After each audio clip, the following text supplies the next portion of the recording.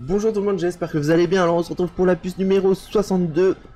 Euh, on va chercher une puce dans un manoir abandonné. Mais avant de, partir chercher la puce les gars, on va devoir prendre euh, le skin Stratus. C'est celui-là les amis. Allez on est parti pour la puce. Alors on va devoir se rendre au manoir abandonné, euh, l'ancien repère des super-héros qui se trouve juste à côté de Lonely Lodge. Juste ici les amis. On va devoir aller au manoir.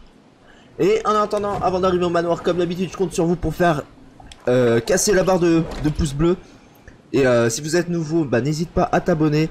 Et euh, n'hésite pas à me suivre sur Twitch. je suis en live tous les jours. Je compte sur vous, la famille. Et on va arriver au manoir du super-héros. Des super-héros. Et la puce se trouve juste à l'intérieur.